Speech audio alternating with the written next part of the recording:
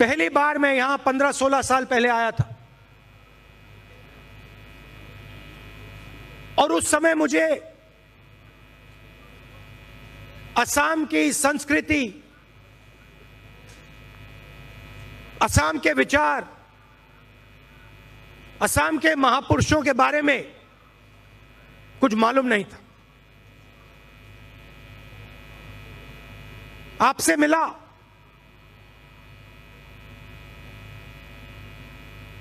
आपने मुझे शंकर देव जी के बारे में बताया।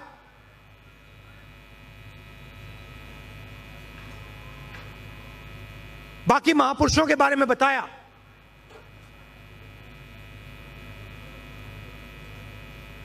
असम की हिस्ट्री के बारे में बताया। और मुझे यह नहीं कहता हूँ कि बहुत कुछ असम के बारे में पता लगा, मगर जो आपकी नींव है वो मुझे समझ आई। और जो आपने मुझे सिखाया भाईचारे के बारे में,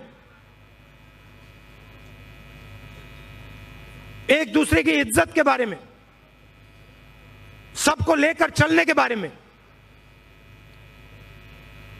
वो मैंने आपसे सीखा। और बाकी प्रदेशों में भाषणों में मैं जो आपने सिखाया बोलता हूँ। मैं कहता हूँ, असम की ओर देखिए। अलग अलग विचारधाराएँ।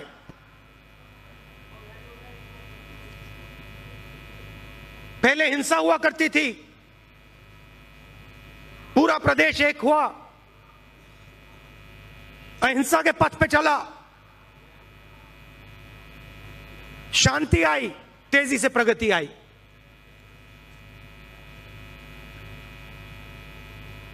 और आज मैंने यहाँ श्रद्धांजलि दी।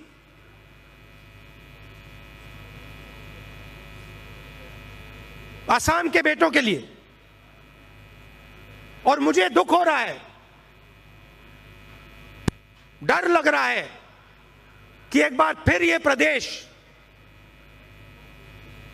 बीजेपी के कारण हिंसा के रास्ते पे आस्ते आस्ते फिर से लौट रहा है।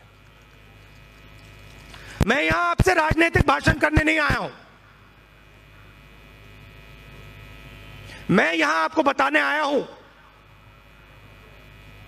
खुशी में, दुख में मैं आपके साथ खड़ा हूँ। और मैं आपको यह बताना चाहता हूँ, अजीब सा लग रहा है।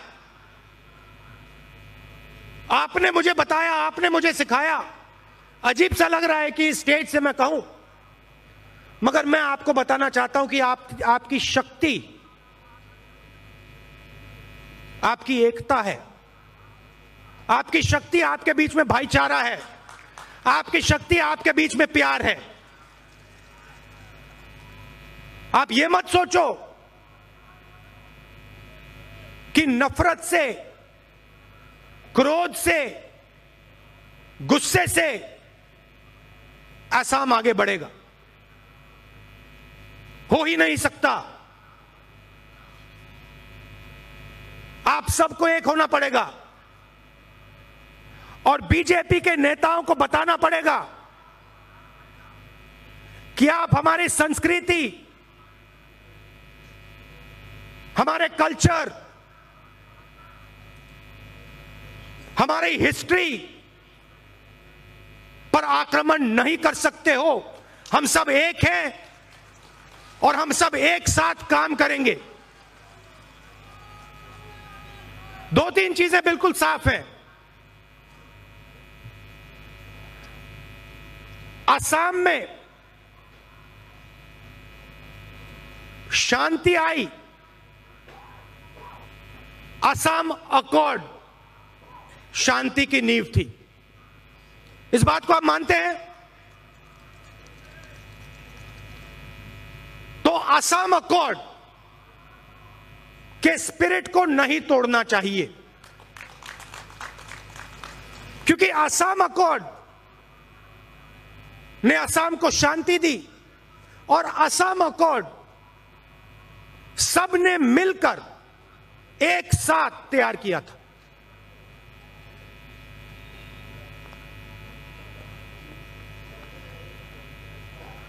पूरे देश में जहाँ भी बीजेपी जाती है, नफरत फैलाती है। असम में युवा प्रोटेस्ट कर रहे हैं, बाकी प्रदेशों में प्रोटेस्ट कर रहे हैं। गोली मारने की क्या ज़रूरत? जान लेने की क्या ज़रूरत?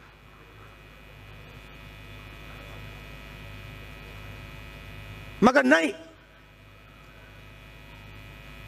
जो जनता की आवाज़ है, युवाओं की आवाज़ है, माताओं, बहनों की आवाज़ है, उसको बीजेपी के लोग सुनना नहीं चाहते हैं। आपकी आवाज़ से डरते हैं।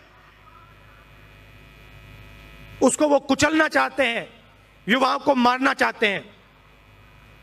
ये गलत तरीका है। अगर जनता के दिल में कुछ है, और वो शांति से उस बात को कह रहे हैं, चाहे वो कोई भी हो, उनको मारने की, पीटने की, गोली मारने की कोई ज़रूरत नहीं। प्यार से काम किया जा सकता है। प्यार से आवाज़ सुनी जा सकती है। और इस सब हिंसा का कारण क्या है? मेन मेन कारण क्या है? जो पहले हिंदुस्तान की अर्थव्यवस्था 9 परसेंट पे चलती थी, जहाँ पहले युवाओं को रोज़गार मिलता था, जहाँ पहले देश के बारे में ओबामा कहते थे, अमेरिका के राष्ट्रपति कहते थे, हमारा तो मुकाबला अब सिर्फ़ हिंदुस्तान और चाइना कर सकते हैं। आज बीजेपी के लोगों ने उसी अर्थव्यवस्था को नष्ट कर दिया, खत्म कर दिया, तबाह कर दिया। मज़ाक उड़ता है।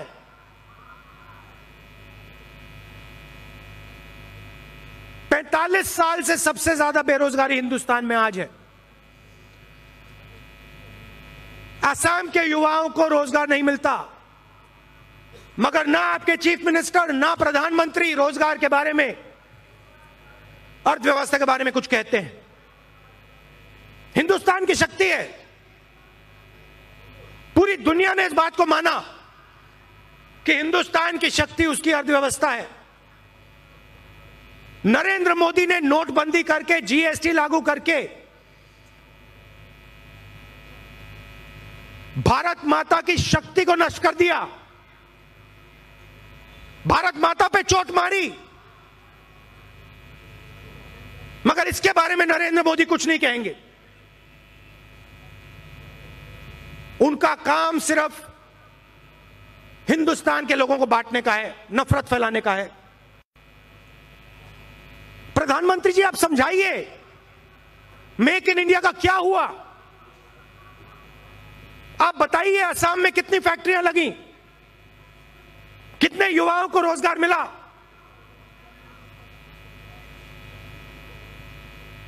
आपने कहा था दो करोड़ युवाओं को मैं रोज़गार दूँगा। कितनों को दिया? पूरा हिंदुस्तान जानता है।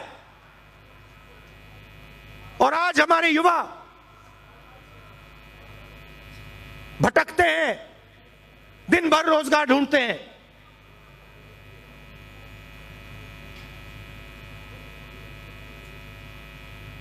कहा था, काले धन के खिलाफ लड़ाई है। नोटबंदी करनी है। पूरा का पूरा पैसा लेकर आपसे, आपको बैंक में खड़ा किया था, बैंक के सामने खड़ा किया था। धूप में, बारिश में आप खड़े थे। आपके जेब में से पैसा निकाला। तीन लाख पचास हज़ार करोड़ रुपए उन्होंने अपने उद्योगपति मित्रों को दिया है। तीन लाख पचास हज़ार करोड़ रुपए। कुछ ही दिन पहले एक लाख चालीस हज़ार करोड़ रुपए टैक्स माफ़ किया। मैं पूछता हूँ कि किसानों को आपने कितना कर्जा माफ़ किया? मैं पूछता हूँ, आपने छोटे दुकानदारों का कितना कर्जा माफ़ किया? असम की जनता को समझना होगा। लक्ष्य यह है कि असम की जनता को लड़ाओ, हिंदुस्तान की जनता को लड़ाओ। और फिर पूरा का पूरा पैसा, पूरा का पूरा धन उन्हीं पंद्रह, बीस उद्योगपतियों के हवाले कर दो। यह है नरेंद्र मोदी का काम।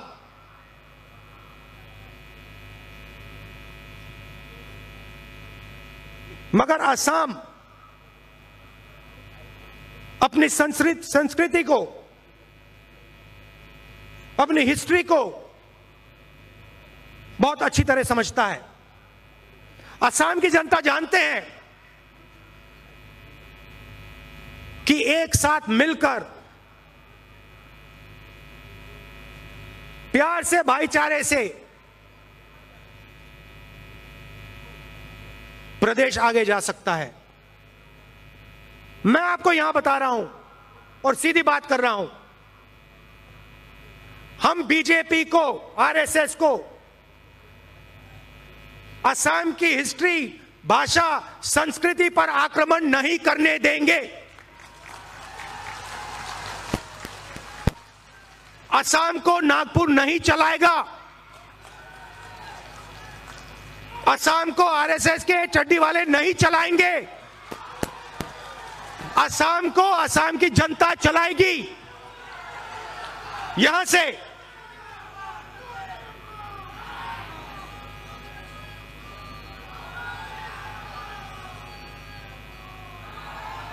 हो ही नहीं सकता। कि ये सोचें? जो भी हिंदुस्तानी है, इस धरती का है, उसका कोई नुकसान नहीं होना चाहिए। आपने यहाँ इतने प्यार से मेरी बात सुनी दूर दूर से आप आए इसके लिए मैं आपको दिल से धन्यवाद करना चाहता हूँ। दिल में थोड़ा दुख है।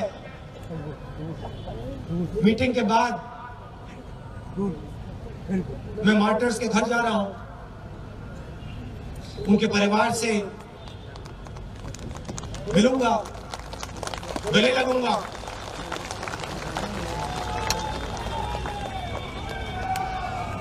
गले लगूँगा। और मैं आसाम से कहना चाहता हूँ, हिंसा से किसी का फ़ायदा नहीं होने वाला। प्यार से, भाईचारे से सब काम हो जाएगा। बहुत बहुत धन्यवाद। नमस्कार। जय हिंद।